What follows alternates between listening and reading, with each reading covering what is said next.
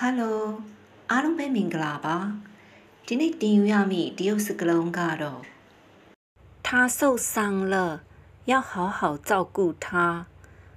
他受伤了要好好照顾他他受伤了要好好照顾他စကားလုံးရဲ့အတိတ်ပဲကတော့ဒူအနာဖြစ်နေတဲ့